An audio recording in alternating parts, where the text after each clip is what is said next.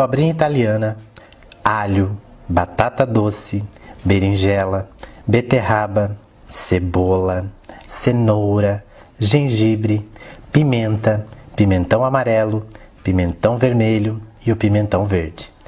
Pepino japonês, vagem, abacate, abacaxi, ameixa, banana, caqui, coco verde, laranja, limão taiti, limão galego e o limão siciliano, maçã, mamão papaya, manga palmer, maracujá, melancia, melão, pera, alface americana, couve, espinafre e hortelã.